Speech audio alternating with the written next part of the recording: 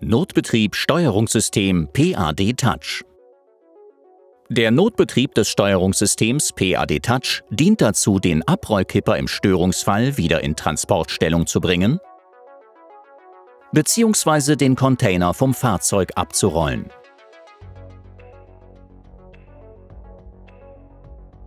Grundsätzliche Voraussetzung hierfür ist, dass die hydraulische und elektrische Versorgung gegeben ist.